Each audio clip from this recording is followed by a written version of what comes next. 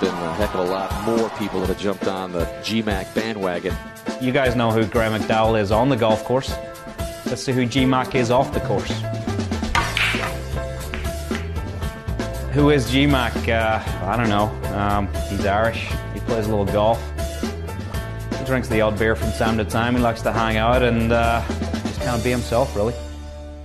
My favorite movie, uh, you know, there's so many to choose from. Um, favorite movie I've watched lately would probably be uh, Social Network. Um, all time, I don't know, Shawshank Redemption, Gladiator, something along those lines. My favorite superhero would be Batman. Uh, he's got all the toys, he's got all the cars, and he gets the girls too. That was awesome. Superpower.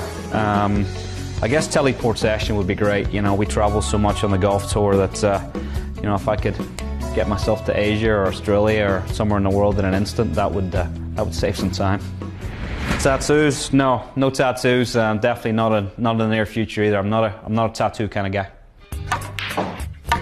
My biggest fear, um, probably snakes and alligators and spiders. Yikes. Biggest weakness, probably a cold beer. I just can't resist them. Typical date night for me: um, dinner and a movie. Um, definitely dinner somewhere, dinner and drinks, um, something along those lines. So my hobbies outside of golf, I'm a big sport fan. I love all sports, mainly uh, uh, football, British football, or soccer, as you guys like to call it. I'm a big Manchester United fan. But uh, you know, all sports, TV, going to the events, um, you know, movies, just hanging out. Really, you know. I mean, uh, golf's such a such a busy life out there. I just love to come home and chill out, drink a couple of beers, and relax.